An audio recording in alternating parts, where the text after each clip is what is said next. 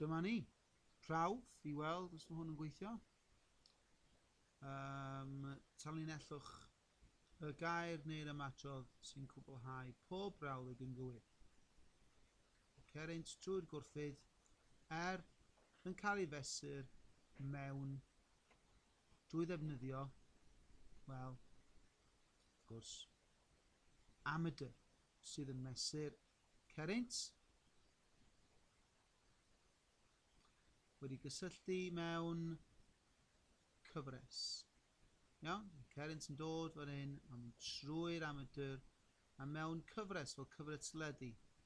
Penod cyntaf, ail benod, trydydd penod. Mae mewn cyfres. Mewn series.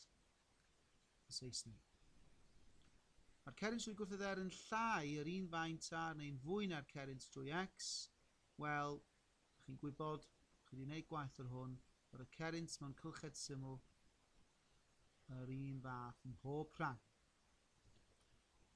A wedyn hwn, wel, dy ddim yn amateur, dy ddim yn voltmeter, a ydych chi'n gwybod beth bynnag mae gwrthydd newidiol yw X. Okay? A dyna fo, diwedd rhan A. Easy peasy. Hwyl i chi.